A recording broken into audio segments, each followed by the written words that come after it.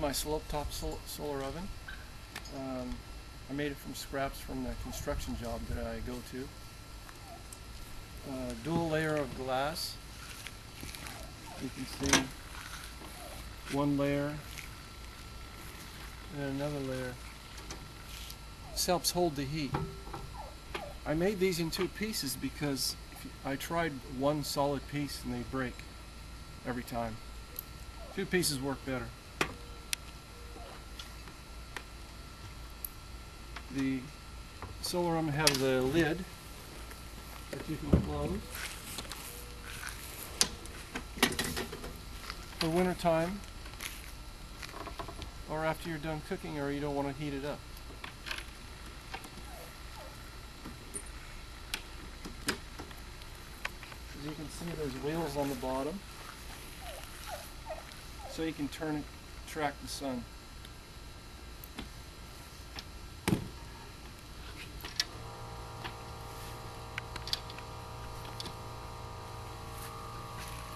The back is the access door that you can put the trays or jars or pans that you want to put in. If you think they're going to leak, you should have a tray so that the fluids, liquids, solids, whatever falls out is caught.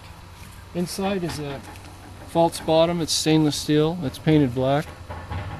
As you can see. So that the heat doesn't conduct into the bottom. The heat only uh, conducts into the the um, pan or jar that you want to cook. This is the lid.